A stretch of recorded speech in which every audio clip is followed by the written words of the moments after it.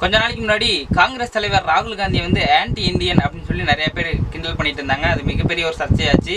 அதுக்கப்புறம் இப்போ மறுபடியும் ஒரு புதுசாக ஒரு ஹீரோவை வந்து ஆன்டி இந்தியன் அப்படின்னு சொல்லியிருக்காங்க. அது யார் அப்படின்னு பார்த்தீங்கன்னா டூ பாயிண்ட் ஓ oh படத்தில் ரஜினிக்கு வில்லன் நடித்த அக்ஷய்குமார் தான்.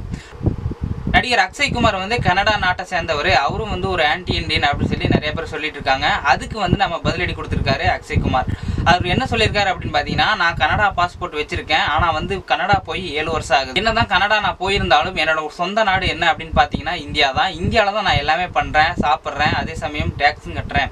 இந்த மாதிரி ஆன்டி இண்டியன் சொல்லி என்னை கஷ்டப்படுத்தாதீங்க அப்படி சொல்லி நடிகர் அக்ஷய்குமார் வேண்டியிருக்காரு.